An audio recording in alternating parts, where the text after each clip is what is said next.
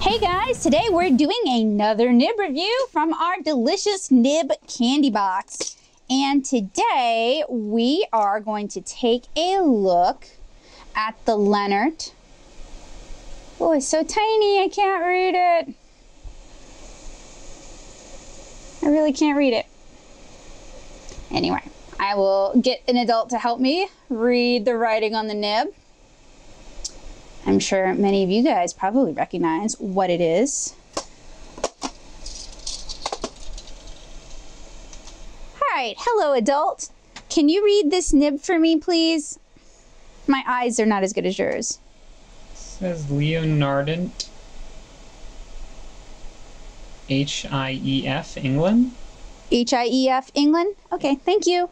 I could read the Leonardt. I just couldn't read the H-I-E-F. Now that you say it, I can I can see it, but I don't know how I ever would have read that on my own. Okay, so we are inking on Denik paper. This is from the Inktober book, and as always, I disclaim that I actually dislike this paper a lot, but I try to use what I have. Now, this nib will not fit in my Tachikawa holder. It is just too small. So let's see what other holders I have. And I feel like this is important because if you've invested in just one holder, you do need to know whether or not your nibs will fit in it. Let's try the Koh-i-Noor holder. All right, we have found a holder that will work. Fantastic.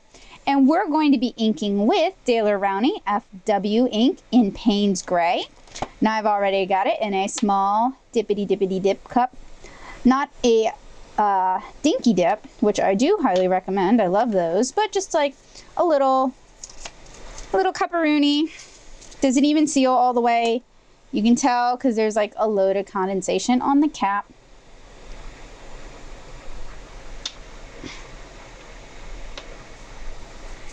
And I got some scratch paper. All right, good flex. Seems like it will be easy enough to control. I do think this will be a good one. Let's move that camera so you guys can get a better view and not of the top of my hand.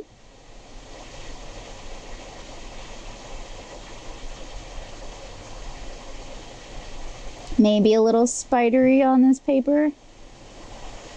That is not uncommon with this Denik, if spidering and tearing bothers you, I do recommend you use Strathmore 500 series plate Bristol. But I am trying to use what I have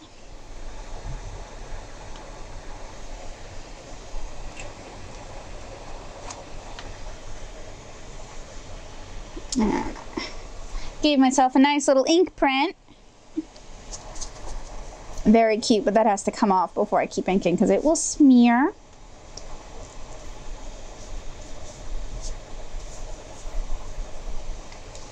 Sometimes I end up wearing as much ink as goes on the page.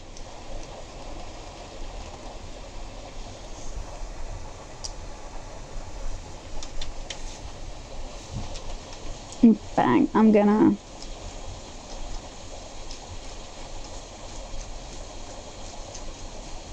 go ahead and write that down because I will forget it. Now this nib keeps scratching the paper and catching and cutting. So I may have to do another ink test with this nib on a nicer paper. I am trying to be very light-handed. But it's still, as you can see, scratching the paper. Maybe you can't, let me see. There we go, scratching the paper, picking it up, causing it to tear, you know, all that wonderful good stuff.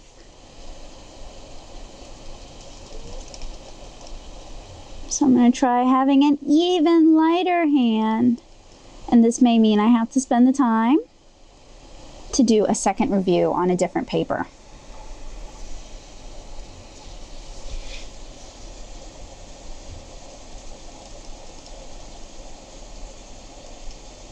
What do you guys, those of you who use dip pens, what do you like to ink on? I see on blogs like the Postman's Knock that they'll use a dip pen and ink on all sorts of things, almost anything.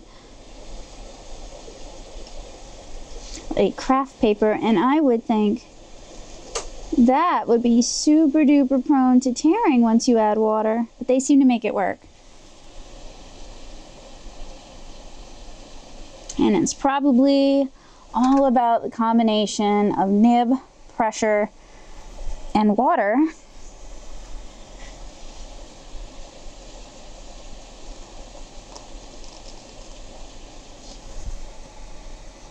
And for these little reviews, I actually have not been using any water, just the water that is in the ink itself. Since these reviews are so short, I don't normally need to wash off the nib. Keep picking up paper though, and that's really frustrating.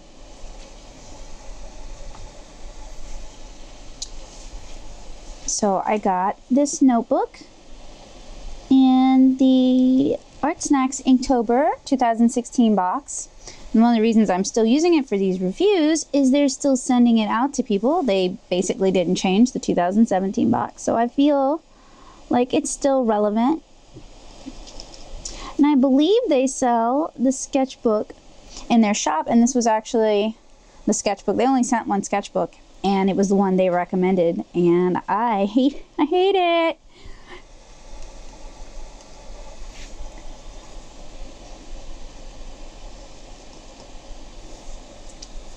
So I'm a little mean and I am not one who won't belabor a point when I feel it's relevant. So rather than use my nicer and probably less expensive Strathmore 500 series plate Bristol uh, visual journal.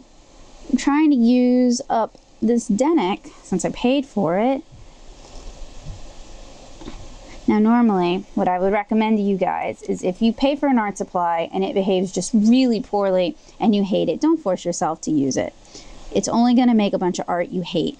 I know it's a waste of money and that's a shame, and sometimes using materials you hate and making them work for you is a phenomenal way. Oh, already smeared. Can be a phenomenal way to learn new skills. But if it makes you miserable, don't fight yourself on it.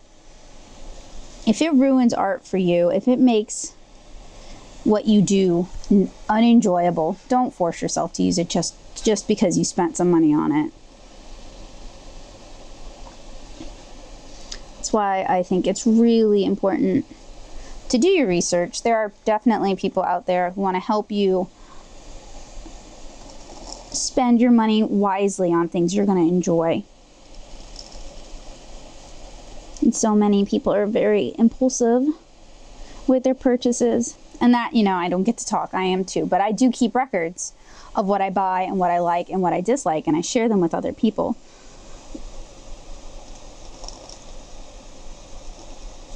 So if you're going to get burnt, at least write a review. Help other people not make your mistake. Help somebody else save some money. It's not quite as good as not having spent the money yourself, but you know, at least it makes that mistake sort of worthwhile. Anyway, I'm still inking this, but I feel like on this paper, I can't really draw a conclusion because the nib is catching a lot on the paper and I'm not sure if it's a flaw in the nib. I'm not always super fond of manuscript nibs. And Leonardt is like a subsection of manuscript, or rather manuscript distributes them. Not super sure where the distinction lies. Um, so what I'm going to have to do is I'm going to have to do another drawing and another review because I can't tell whether it is the paper that's the problem or the nib that's the problem. So I am going to wash this nib off because it's going to take a few minutes and I'll be back with a sketch in my little Strathmore plate Bristol notebook and we'll see if there's a difference. All right, so here we are with test number two for the Leonardt H-I-E-F. And this is straight up Strathmore 500 series plate Bristol. And I sketched this really quick.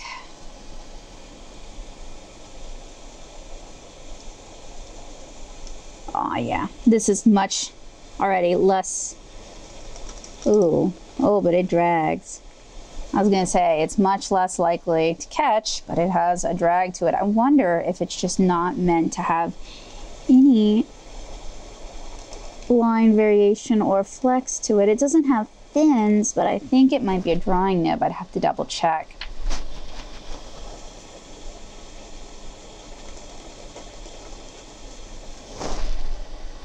However, it's still catching less on the plate Bristol, but it's a it's a draggy pen. It's going to catch on your paper, especially if you're using something that isn't as nice or if you are working kind of wet in a wet.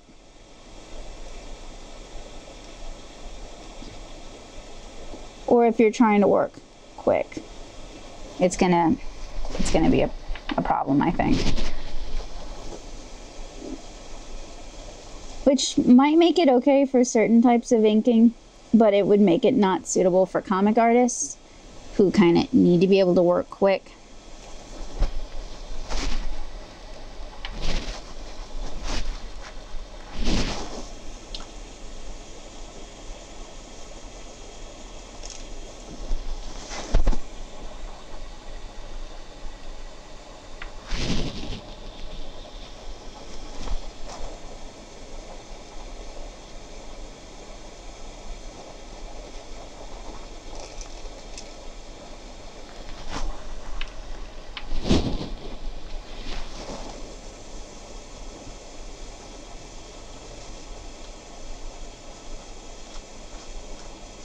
might be trying to work too quick with this thing. So I'm gonna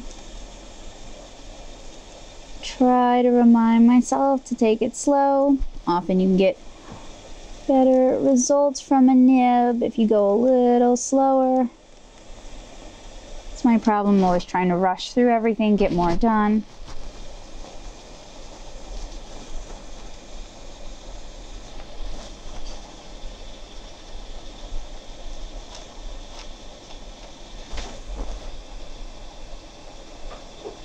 It doesn't actually make a bit of difference. It doesn't improve my life any. It just means I did more during the day and I'm exhausted and more prone to burning out.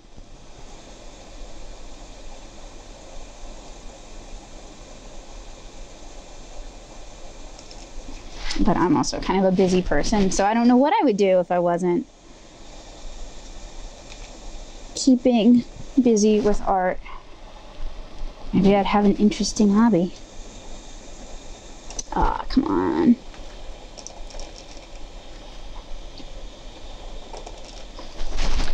Due to how draggy the nib is, the paper started to pull away from me. Yeah, I could see this being kind of a frustrating nib. I would not, I mean, it'll ink. It'll put ink down on the paper. And there's nibs that won't even do that. But I would not call it a good ink inker.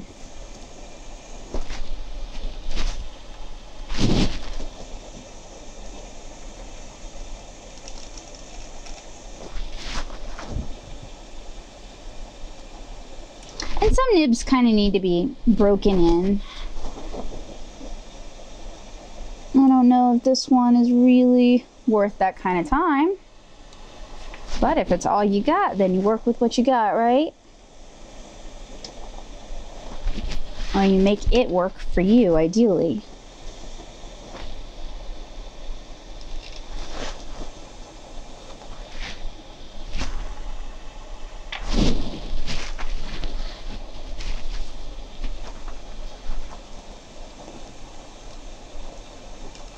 does not does not want to accommodate me.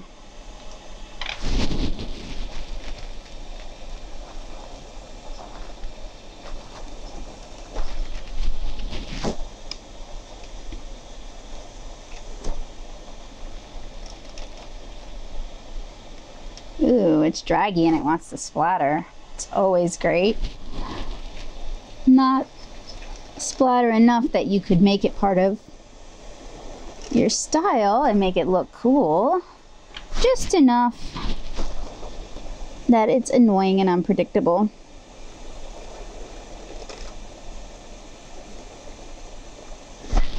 It's okay. We are almost finished with the Leonardt H-I-E-F. So uh, there are a lot of good nibs out there that are good for inking. There are a lot of nibs that are fun for inking. This is not one of them, and this is not a nib I would recommend. Um, I think it is the sort of nib that comes in packs, although I believe I ordered it open stock or purchased it open stock from Paper and Ink Arts. It will not fit in a Tachikawa or Kuretake holder, so if you have one of these with the metal ferrule inside that grip it, it will work with that. So I would say skip this nib for inking. But if you're feeling contrary and you want to prove me wrong, please do and make sure you link the results. I'd love to see what you come up with. So I hope you guys have a great day. Thank you so much for checking out this review and I hope you will check out my other nib reviews on this channel. Bye!